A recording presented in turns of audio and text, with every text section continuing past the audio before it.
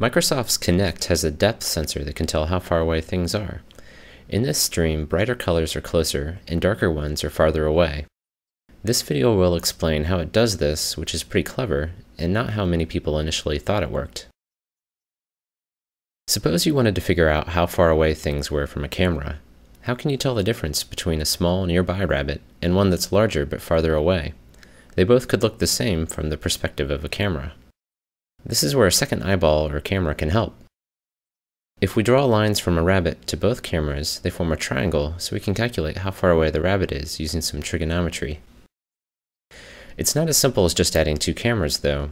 You have to make sure you're drawing lines from the same rabbit. If there are two rabbits in the scene, how can I make sure I'm measuring from the same rabbit?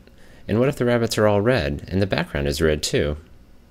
The Kinect can actually handle this case, Instead of a second camera, it has an infrared projector that paints the scene with invisible markers like this. Now the rabbits can be differentiated no matter what the colors are. Whenever the camera sees a 1, it knows that object is sitting along the 1 line from the projector, so we can again triangulate the distance. Likewise, for any other number, it automatically knows its angle too. Now if you take a night vision camera and look at the projection from the Kinect, you won't see a grid of numbers, but rather a random speckle pattern.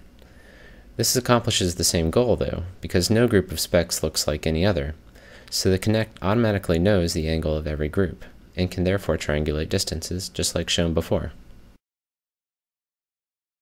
The downside of this technology is that it can only work indoors because sunlight would wash out the speckle pattern, and similarly, multiple Kinects would confuse each other.